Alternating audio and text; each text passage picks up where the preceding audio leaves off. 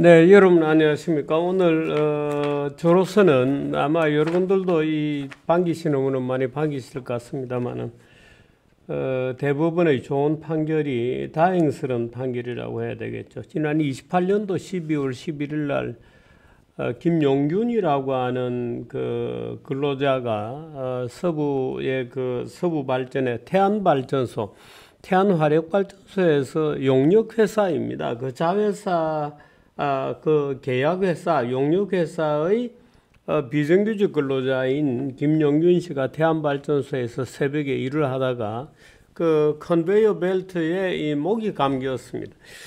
어, 그래서 아주 그 그야말로 참 목이 잘리는 처참한 모양으로 어, 사망하는 사고가 있었습니다. 그런데 이 사고로 어, 그 당시에 이제 몇 사람이 기소가 되고 했습니다만은 그 서부 발전에 그리고 이제 그 정의당을 비롯하 비롯해서 또 민노당 뭐 여러 이제 노동 세력들이 총궐기를 해서 그 그런 안전 사고가 날 경우에 어, 기업의 업주를 처벌하는 그 전에는 그 처벌자가 되게 이제 실무 관리자 이렇게 돼 있었습니다만은 업주를 처벌하는 굉장히 강력한 소위 중대재해법이라는 것이 만들어졌습니다. 그게 이제 어, 뭐 농성하고 집회하고 시위하고 여러 이제 것들이 있었습니다만은 어, 그래서 2000년 12월 달에도 격한 그 12월까지 흐름이 이어졌고 결국에는 2021년 어, 1월 8일 날 이 법안이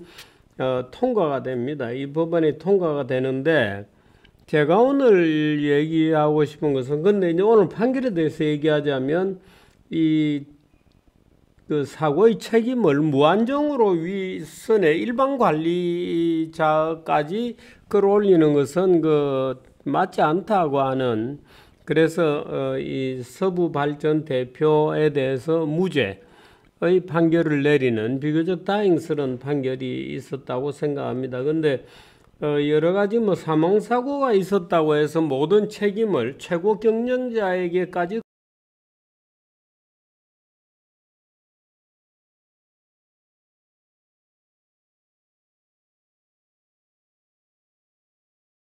에 대한 어떤 구체적인 감독 책임을 묻는 것하고는 어, 책임이라는 것은 그 권한에 걸맞는 책임이어야 하기 때문에 안전사고 감독에 대한 구체적 감독에 대한 어떤 사정 과정이 전제가 되어야 됩니다. 그런 면에서 저는 오늘의 그 대법원 판결이 정당한 판결이라고 보는데 이 중대재해법은 어, 제가 오늘 얘기하려고 하는 것은 국힘당의 무책임한 무정견, 무정책, 무사려, 무분별의 그 입법 태도를 비판을 하려고 합니다. 이 중대재해법은 여야 합의로 통과가 되었습니다.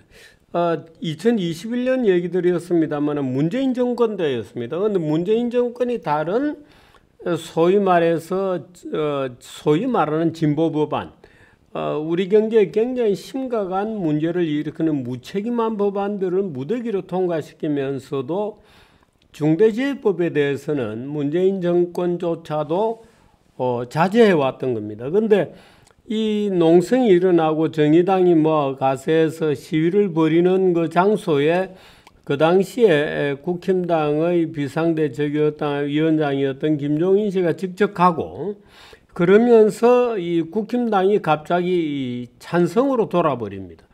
그러면서 이 법이 뭐 국힘당이 찬성으로 도니까 민주당이 반대할 뭐 이유가 없는 거죠. 민주당이 왜야 원래 우리가 노동자들의 지지 세력이다 이렇게 자부하는 조직이어서 바로 어, 합의가 여야 합의로 통과되었습니다. 그런데 제가 지금 개탄하려고 하는 것은 국힘당은 생각이 없습니다. 정강 정책도 없고 이념도 없고 그저 다수 대중이 원한다는 생각만 들면 무조건 법을 만듭니다. 그래서 제가 지금 여러분께 그 우리가 지금 국회의 국회가 만든 입법 중에서 심각한 문제들이 있다고 생각하는 법안들을 여러분께 쭉 얘기 드리면 아마 여러분들이 많이 놀라실 텐데 이 놀랄 만한 법안 것들의 대부분은 여야 합의이거나 오히려 더 많은 부분은 국힘당이 적극적으로 주장해서 만들어진 법들이 굉장히 많습니다. 그 대표적인 것이 그 박근혜 대통령 정부에서 이루어진 경제민주화법입니다. 이 경제민주화법은 그 하나의 단일법이 아니고 12개 법률안들을 쭉 이제 개정해 나가는 일련의 어, 말 시리즈 입법인데 12개 법안이 경제민주화라는 이름 하에 통과되는 어 근데 이 경제민주화 법안 12개 전부가 사실은 반시장적, 반자본주의적, 반시장적 법들이었습니다. 그래서 저는 사실은 이 박근혜 정부의 경제민주화법을 막기 위해서 정말 열심히 뭐 공적으로 사적으로 뛰었습니다만은 실패했습니다. 그래서 제가 이 과정을 잘 압니다. 경제민주화법안 12개가 전부 박근혜 정부에서 다 통과되었습니다. 국힘당이 앞장선 거죠, 당연히. 우리 제가 국힘당은 요즘 저 법안 거부 안 하고 많아 민주당의 입법 폭주를 방치하고 있느냐 이렇게 얘기하면 국회 선진화법 때문에 못한다 이렇게 얘기합니다. 근데 국회 선진화법도 국힘당이 통과시킨 국힘당이 여당일 때 통과시킨 국회 선진화법.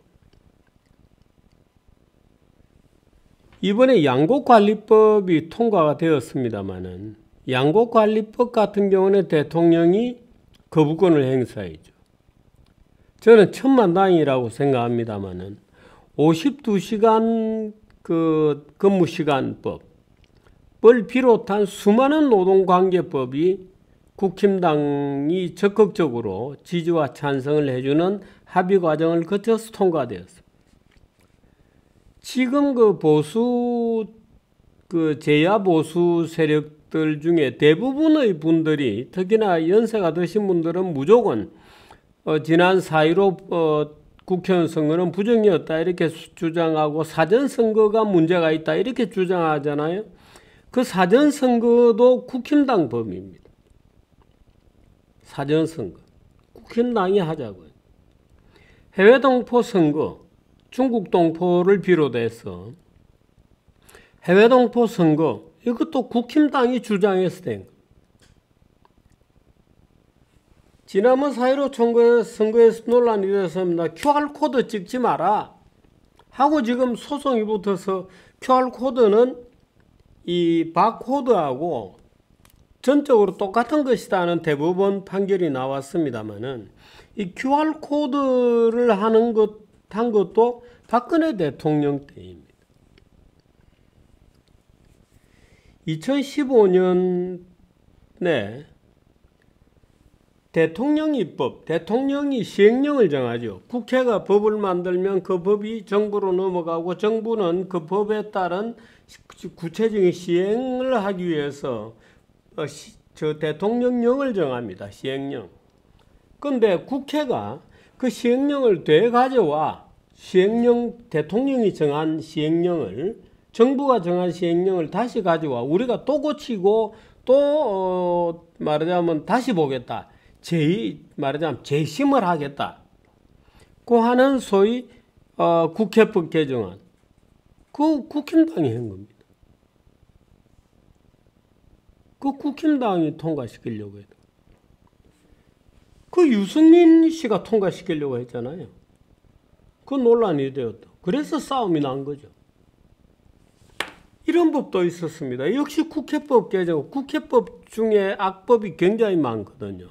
역시 국회법 개정안인데 국회의원들은 원래 헌법에 의하면 헌법 제49조로 제 기억합니다만 헌법에 의하면 국회의원들은 민원을 받으면 안 됩니다. 대부분의 민원이라는 게 특권을 주는 거거든요. 배타적으로. 누구누구에겐가 무슨 문제를 해결해 달라는 거잖아요. 근데 국회의원이 자기의 힘을 이용해서 해결하면 안 되죠. 국회의원은 법을 만드는 사람이어서 민원하고 불가분의 관계에 있습니다만은 법 절차하고 달리 민원을 자기가 처리해 주면 안 됩니다. 그게 헌법에 국회의원들의 청년 모임으로 딱 규정이 되어 있죠. 예를 들어서 지금 청년 말이 나왔습니다만 김영란법 그 논란이 많아서 계속 고치고 또 고치고 이번에도 또 한덕수 총리가 고쳐야 되겠다 불가피하게 또 말하자면 밥 먹는 가격 물가가 많이 올랐으니까 3만 원에서 5만 뭐 원에 10만 원이나 올려야 되겠다는 김영란법 그 국힘당이 만든 법 아닙니까? 대한민국 악법 중에서 국힘당이 만들지 않는 법이 없습니다. 대한민국 악법 중에서 국힘당이 선도해서 만들거나 아니면 국힘당이 기꺼이 민주당하고 합의해서 만들지 않은 법이 없습니다.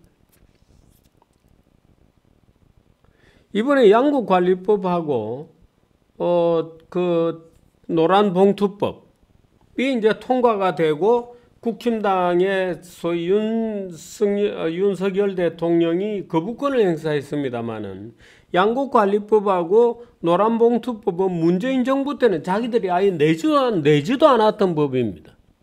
아예 통과시킬 생각도 안 하고 그래서 발의도 안 하고 있던 법입니다. 근데 국힘당이 딱 정권을 잡으니까 그거 싹 꺼내가지고 통과시킨 거죠.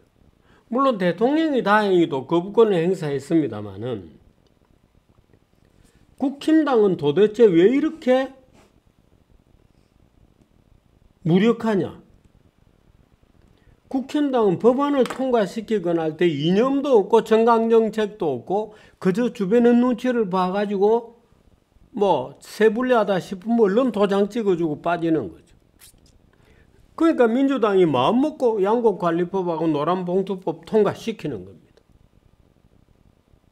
국힘당이 남아서 도장 찍어주면 더 좋은데 아, 이 친구들이 이번에 도장을 안 찍네. 아마 이랬을 생각했을 겁니다. 그 대통령이 거부권을 행사했죠. 아마 국회 분위기 좋을 때 성기해 밀어서 밀려났을 겁니다. 양국관리법, 노란봉투법도. 근데 개혁 입법 중에 국힘당이 밀어붙인 거 하나도 없죠. 없습니다. 국힘당 아무 생각인 국힘당은 무뇌 정당입니다. 뇌가 없습니다. 아무 법이나 52시간 통과시켜주고 합의해주고 중대 중대재해법 그 김종인 씨가 가서 정의당하고 가서 박수 치고 통과시켜주고 경제민주화법은 오히려 국힘당이 다 법안 작성해서 통과시키고 해동포 선거권 주자 막 해서 하고 중국 동포도 주고 사전 선거도 만들어서 국힘당이 만들고 QR코드도 만들고 수많은 노동관계법. 2015년에 국회법 개정안 시행령 야 대통령 정부가 만든 시행령 다시 가져와. 우리가 다시 보겠어 다시 고치겠어. 그 물론 박근혜 대통령이 거부권 행사했습 그런데 국회에서 통과된 겁니다. 유승민 쪽에서 내 가지고 유승민은 또 사회적 경제 기본법까지 만들었죠. 2016년 국회법 개정안 파동도 또 있습니다.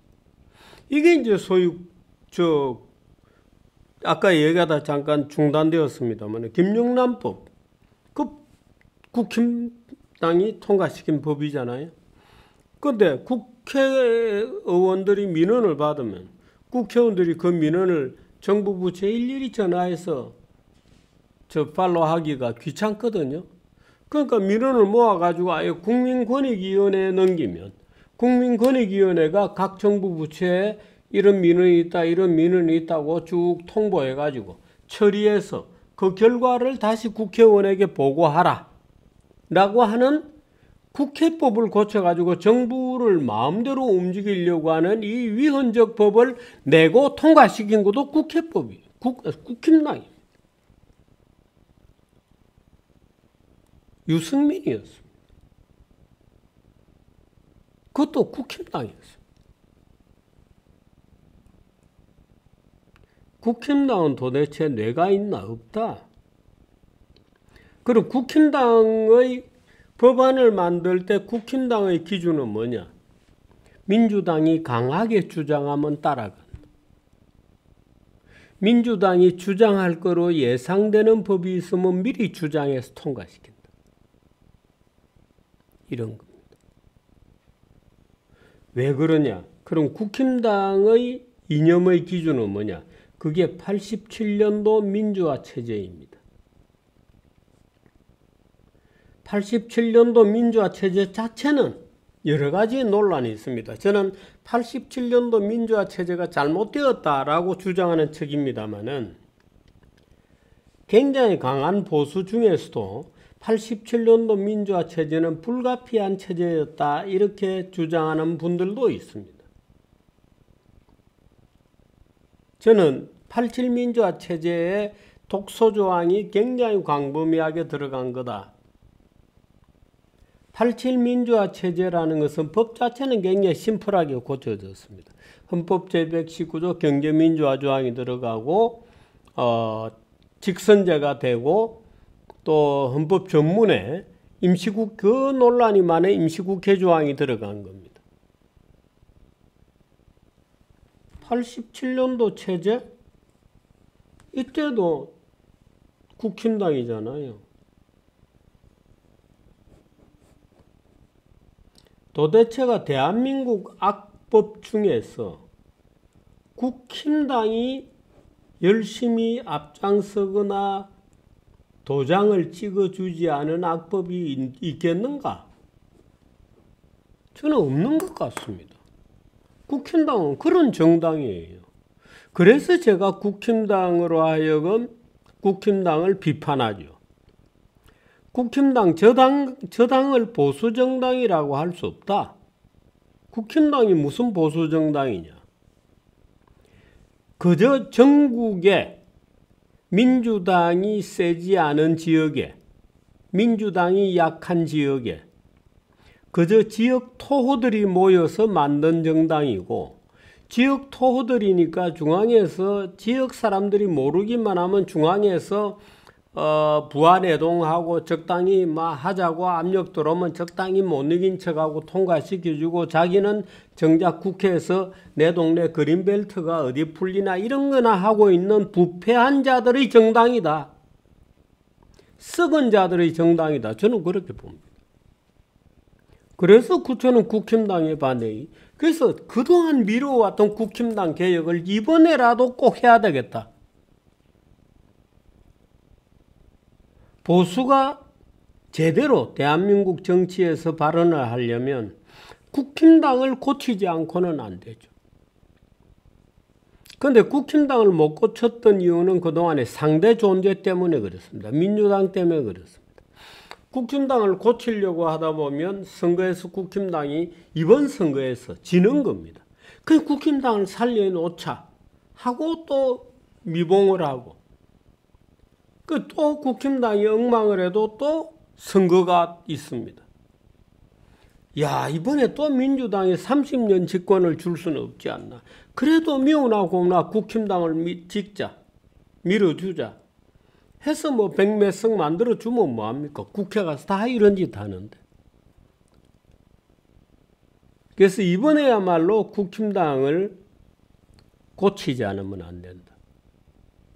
이번에야말로 국힘당을 정말 제대로 혼을 내고 고쳐야 되겠다. 저는 이번에 뭐 다행히도 신당이 나온다잖아요. 아니, 어떻든 이 신당도 칼라가 굉장히 보수적입니다.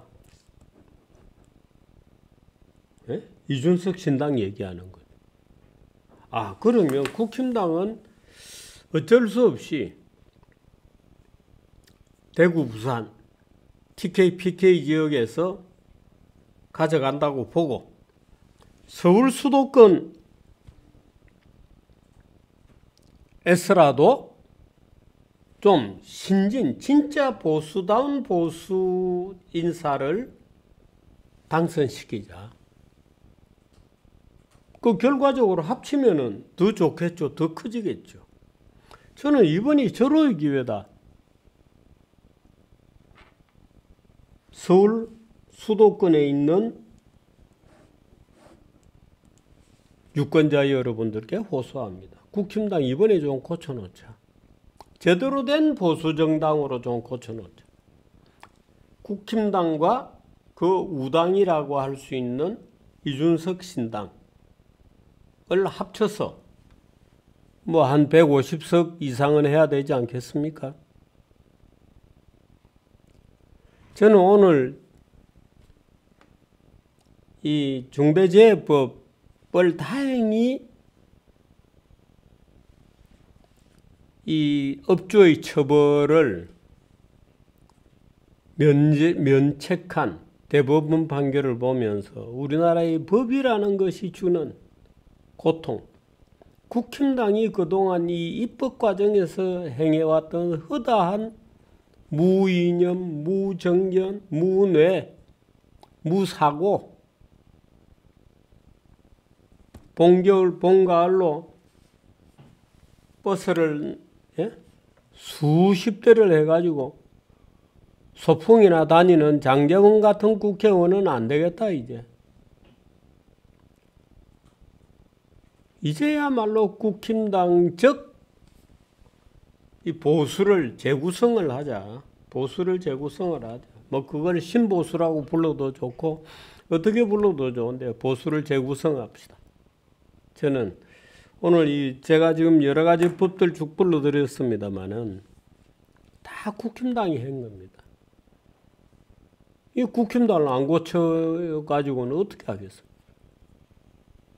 여기까지 하겠습니다. 고맙습니다.